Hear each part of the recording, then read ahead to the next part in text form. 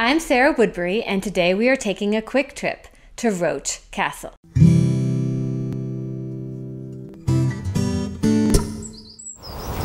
I'm standing in front of Castle Roche.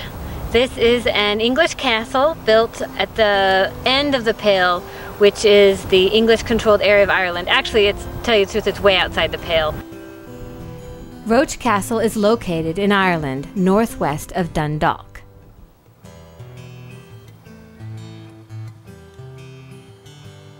The current castle was built by the Verdun family, namely a woman, Rohesia, in 1236 as part of the Norman conquest of Ireland that began in 1169.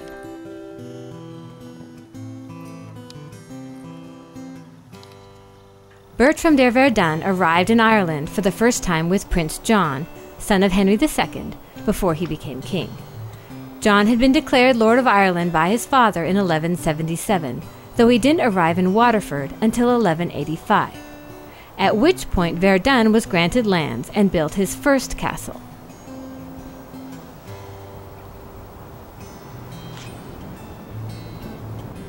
John's visit did not go well, mostly because John managed to offend all the native Irish leaders by laughing at their looks and promising his Norman barons their land.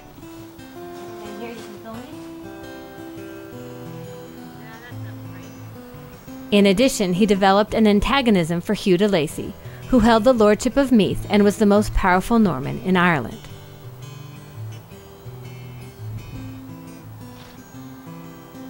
The Verduns managed to navigate these allegiances successfully for centuries, in part because their castle was positioned strategically on the frontier, overlooking a pass into South Armagh between territory controlled by the native Irish and the Pale, the area of eastern Ireland the Normans had conquered.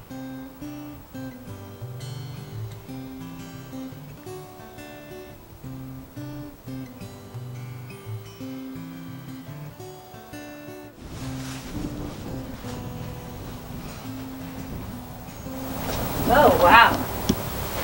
Here's an underground, very wet room in the corner of the castle. Rumor had it that there was a secret tunnel underneath this castle to an outpost tower in case they ever needed to escape.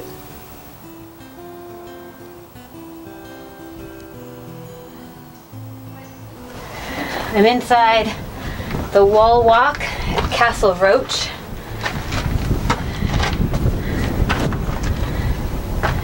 Had to do quite a lot to get up here, so.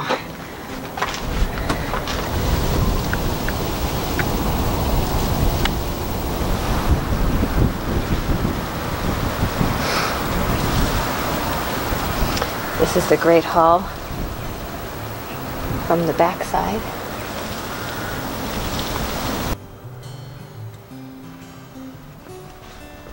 The castle was ruined by Cromwell, but the gatehouse, outer bailey, and inner curtain wall remain. Castle Roche means Castle of the Rock, and it is still situated in a somewhat remote location with spectacular views of the surrounding landscape.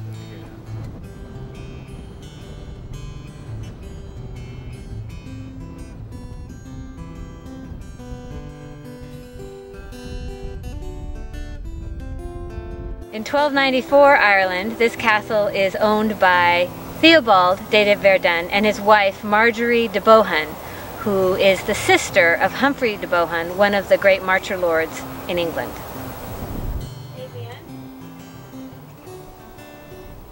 All that is left of the curtain wall at Castle Roche are grass-covered mounds.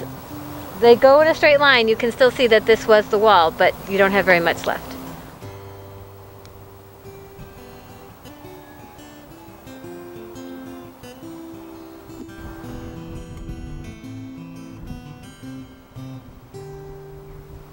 Robbie Bruce and James Stewart visit Castle Roche in Outpost in Time.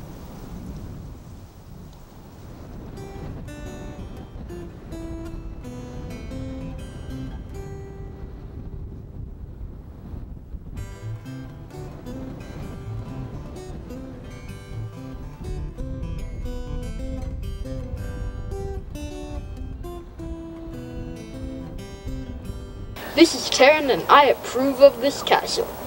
Thanks for watching my video. You can click on the playlist or subscribe to my channel to see more. There'll be a new video next week.